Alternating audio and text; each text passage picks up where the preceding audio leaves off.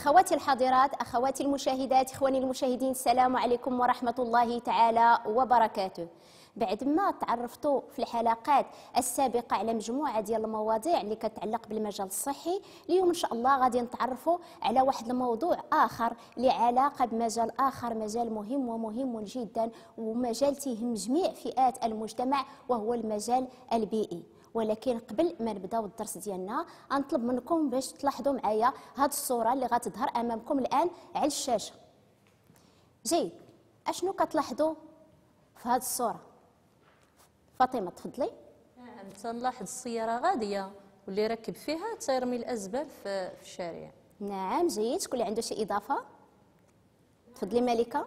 نعم أستاذة هذا السائق ما تيحترمش البيئة وتيلوثها هذا الشيء تي- تيدل على قلة الوعي ديالهم. جيد. اذا هذا السلوك هو سلوك خاطئ. في نظركم أش كان أش كان خصو يدير؟ أو اش كان- عليه يدير؟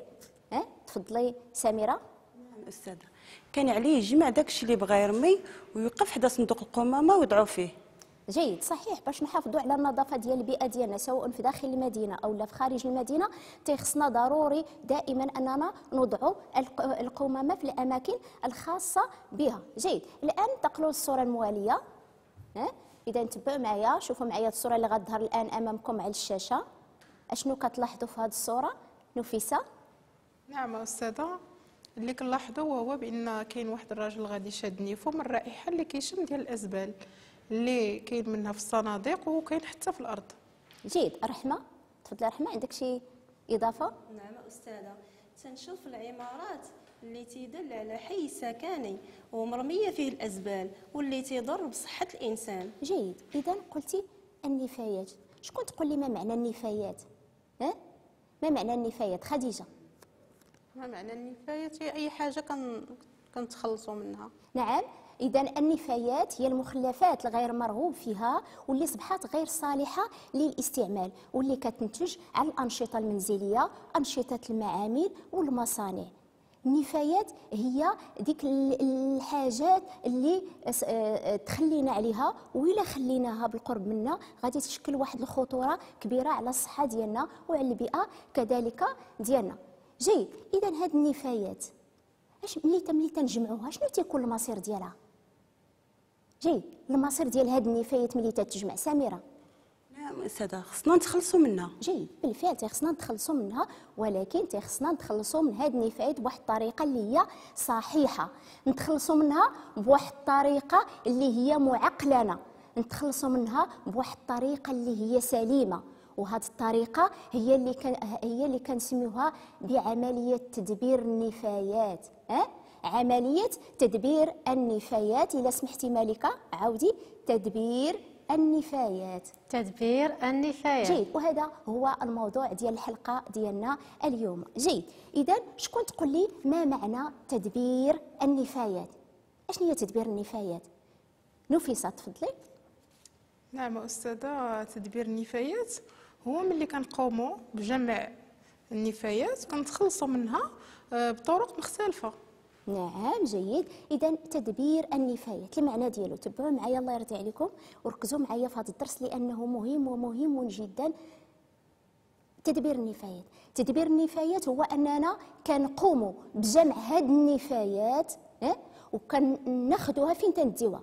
تنقلوها وكنديوها لواحد الأماكن اللي هي خاصة بالنفايات. كنسميوها بمطاريح النفايات.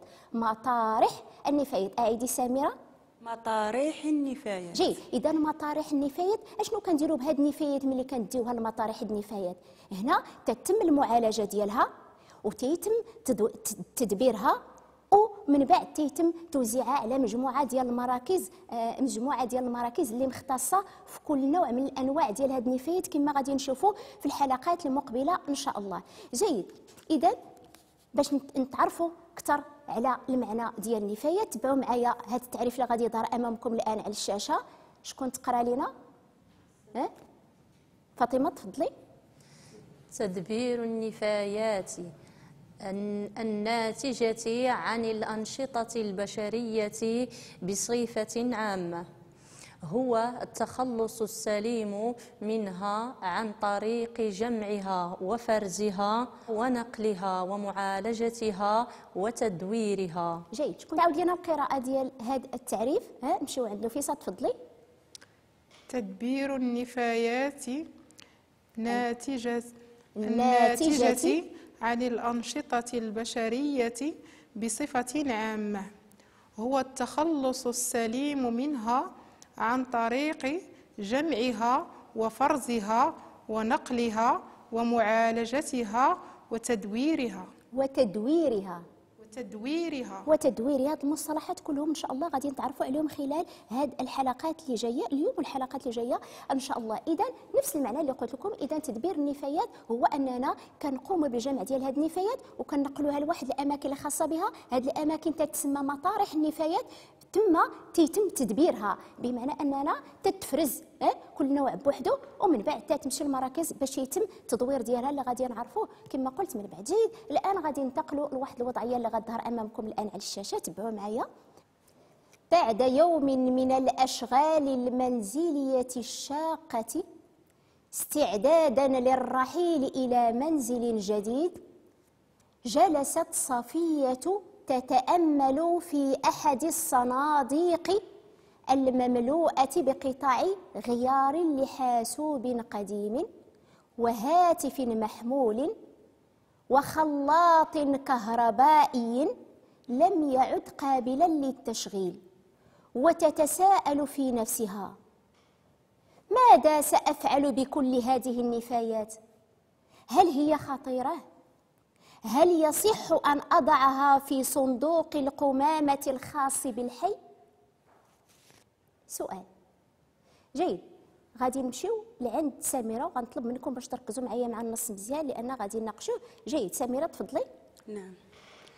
بعد يوم من الأشغال المنزلية الشاقة استعدادا للرحيل إلى منزل جديد.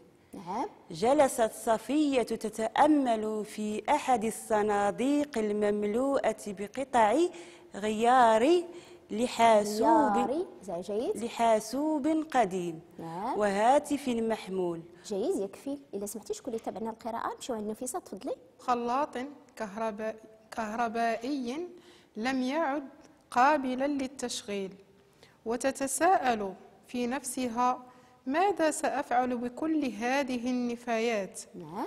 هل هي خطيرة؟ هل يصح أن أضعها في صندوق القمامة الخاص بالحي؟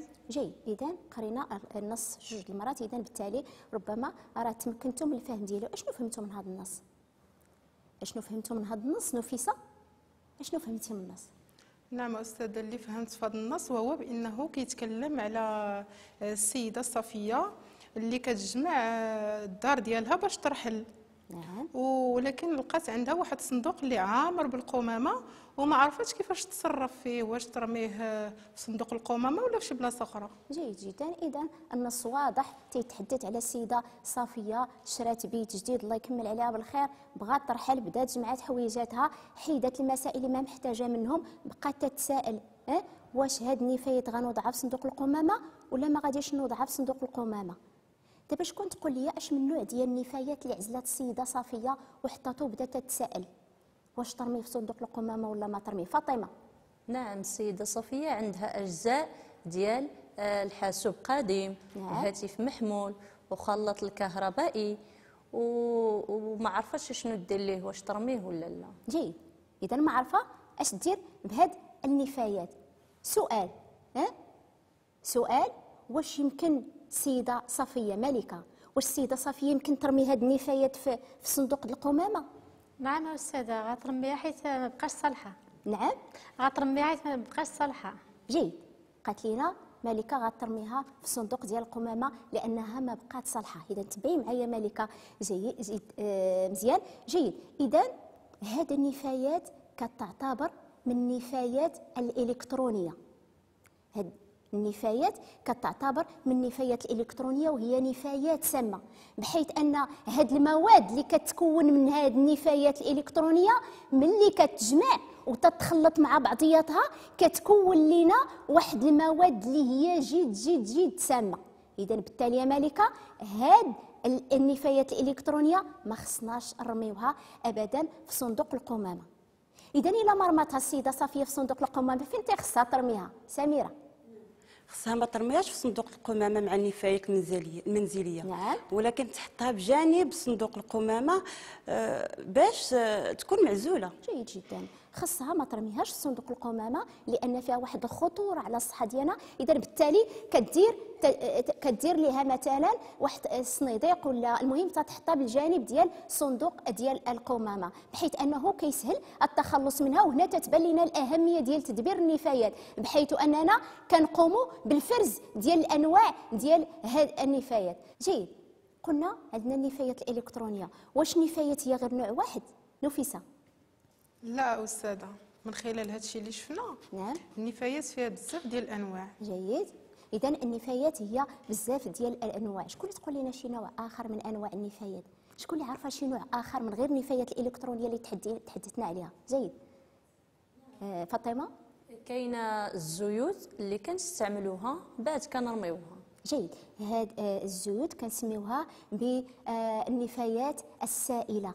النفايات السائلة وكتشكل كذلك واحد الخطورة على الصحة ديالنا. شكون اللي عندها شي إضافة أخرى؟ شكون اللي عارفة شي نوع آخر من أنواع النفايات سميرة. نعم أستاذة. كاينة النفايات المنزلية وكاينة ديال المعامل والمصانع. جيد. النفايات المنزلية. هاد النفايات المنزلية حتى هي كتنقسم لجوج الأنواع. كاين النفايات العضوية والنفايات الغير العضوية. ما معنى النفايات العضوية؟ النفايات العضوية هي اللي تتكون قابلة للتخمر. أه؟ تتختمر بحال مثلا البقايا ديال الطعام بحال المخلفات الحدائق بحال المخلفات ديال الغابات مثلا. ملي تنقول قابلة للتخمر مثلا ملي تن ملي تنخليو شي شوية البقايا ديال الطعام مثلا في المطبخ ديالنا في الطويجين ديالنا ولا هذا ملي تدوز واحد المدة شنو تلقاو؟ آه واحد المجموعة. اذا داك داك الأكل تخمر. داك اش تنقولوا قابلة للتخمر. هذه النفايات العضوية. وكاينة النفايات الغير العضوية وهي النفايات الصلبة. بحالاش؟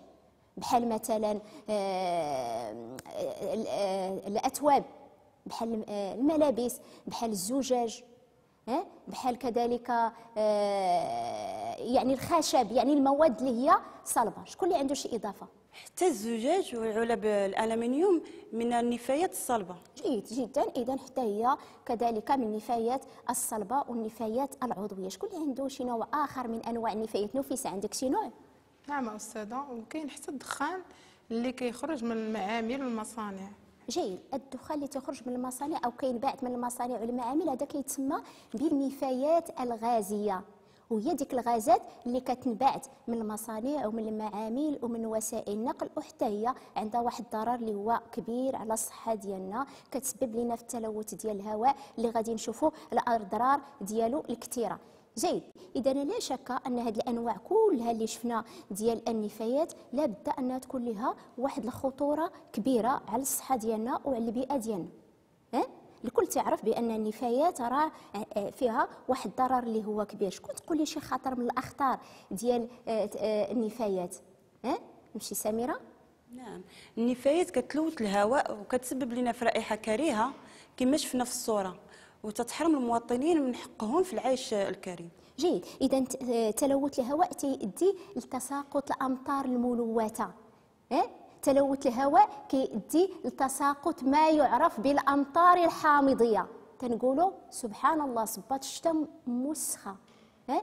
كاع الحوايج اللي كانوا منشورين كلهم؟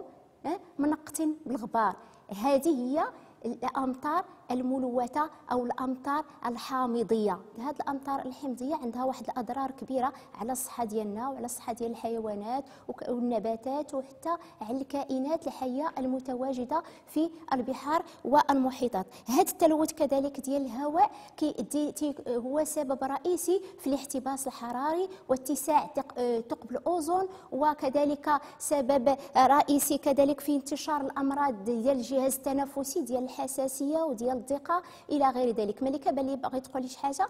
نعم أستاذة بغيت نسولك شنو هو الاحتباس الحراري. جيد الاحتباس الحراري هو ارتفاع درجة حرارة الأرض إيه؟ تلوث الهواء هو السبب في الارتفاع ديال درجة الحرارة حرارة الأرض وهو اللي كنسميوه بالاحتباس الحراري. فاطمة عندك شي إضافة؟ نعم التلوث آه، ال- النفايات آه، عندها أمر عندها مخاطر كثيرة على صحتنا. حيث فيها تتكثر تتكثر الميكروبات اللي تتسبب أمراض الجلدية والحساسية وغيرها من الأمراض. جيد. ودابا لاحظوا معايا هذه الصورة اللي غتظهر أمامكم الآن على الشاشة؟ اذا أشنو كتلاحظوا في هذه الصورة؟ ها؟ نفيسة شنو كتلاحظي في هذه الصورة؟ نعم أستاذة كنلاحظ آه، آه، الأزبال آه، مجموعة في شي بلاصة ووحدها الماء. جيد جدا. إذا هذا تلاحظوا في الصورة مطرح من المطارح ديال النفايات. ولكن هذا المطرح كما تيبان لنا هو مطرح عشوائي بمعنى أنه بلا رقابة؟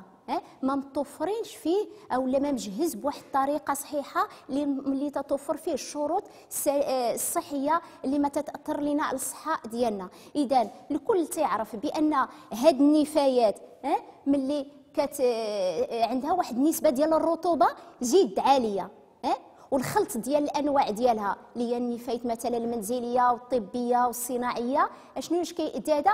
كيؤدي للتسريع ديال مجموعة الميكروبات كيؤدي لانتشار مجموعة ديال الفيروسات وانتشار مادة واحد المادة اللي هي خطيرة وخطيرة جدا هي مادة الليكسيفيا. ما معنى ال lixiviat؟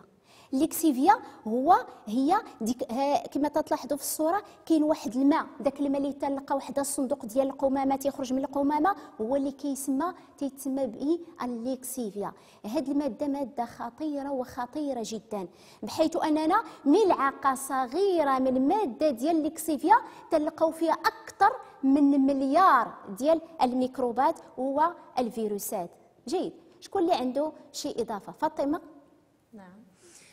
تنلاحظوا بعض الناس تيعيشوا قرب المطارح آه، النفايات المنزلية وكيقلبوا فيها.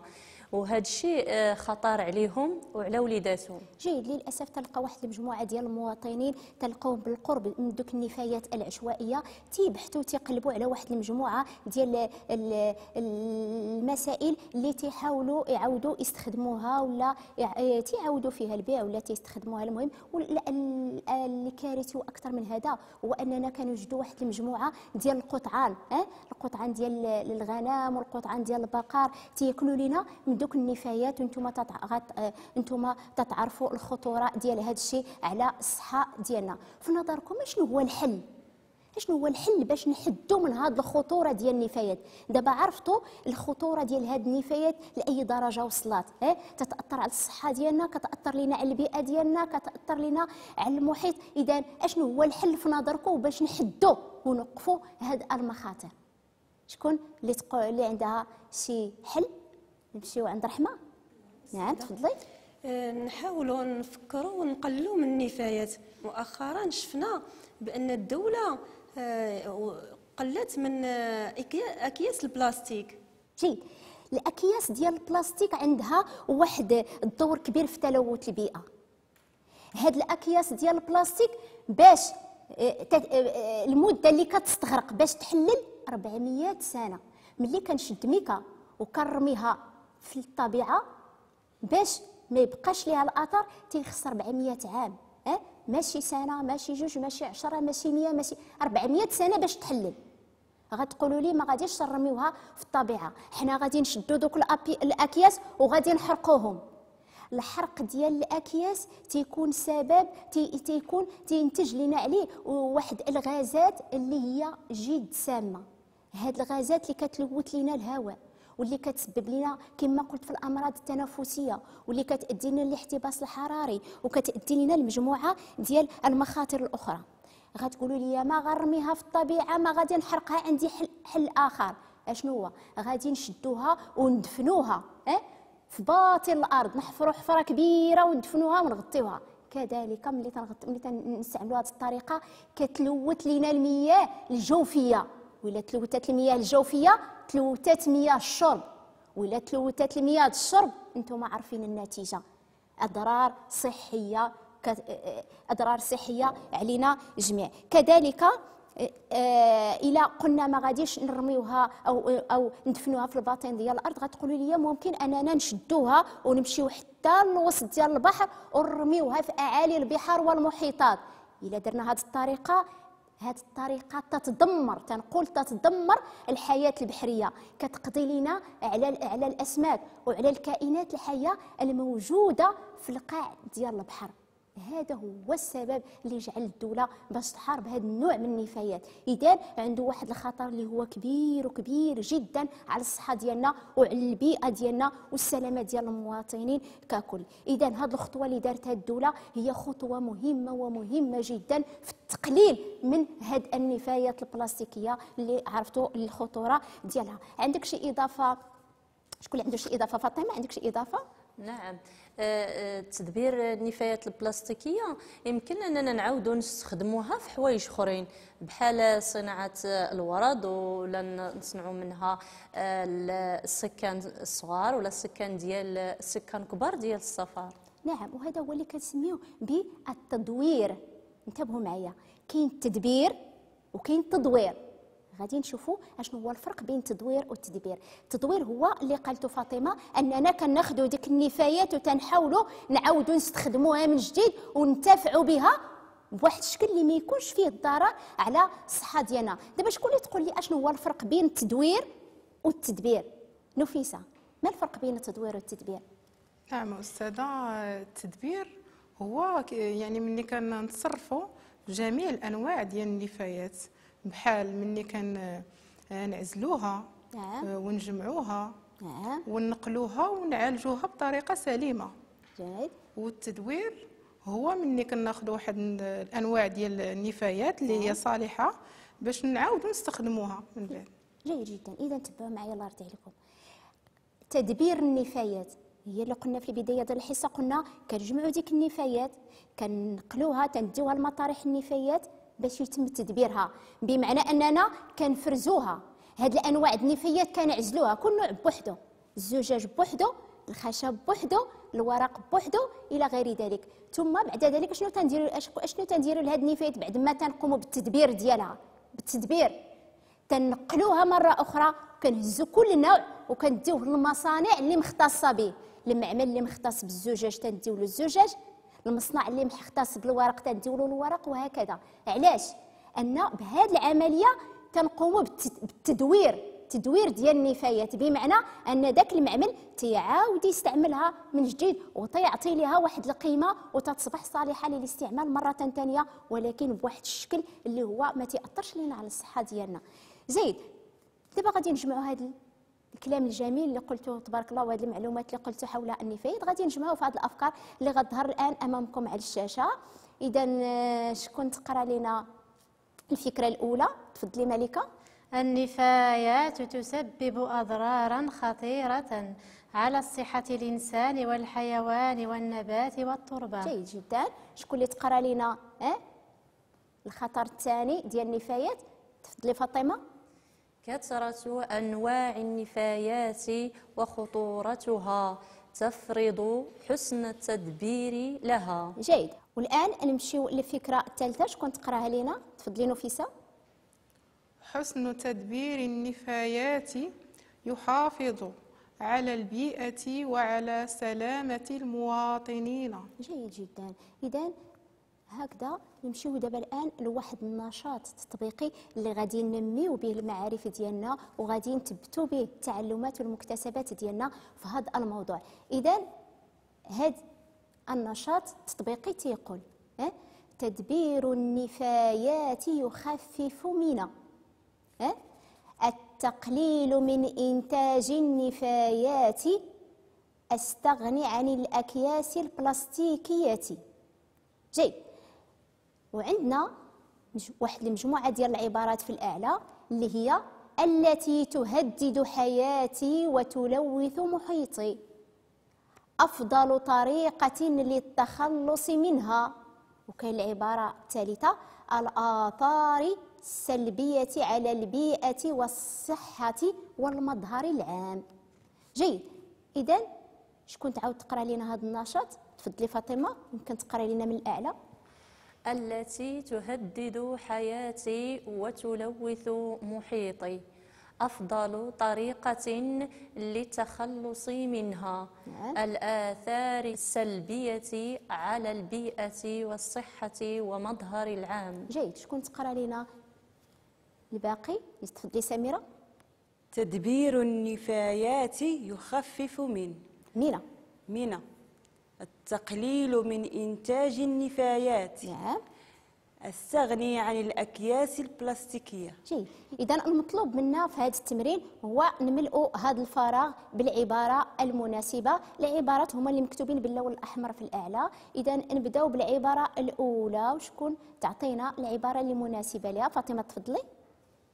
تدبير النفايات يخفف من الآثار الس- السلبية على البيئة والصحة والمظهر العام. جيد جدا. إذا نزلوا العبارة المكان المناسب لها. جيد. إذا تدبير النفايات يخفف من الآثار السلبية على البيئة والصحة والمظهر العام. فعلا هذا الشيء اللي قلنا بأن تدبير ديال النفايات يحافظ لنا على البيئة. جيد. نمشيو للعبارة الثانية. يلا. شكون شكون تملئ لنا الفراغ بالكلمة المناسبة باش تعطينا جملة مفيدة نفيسة؟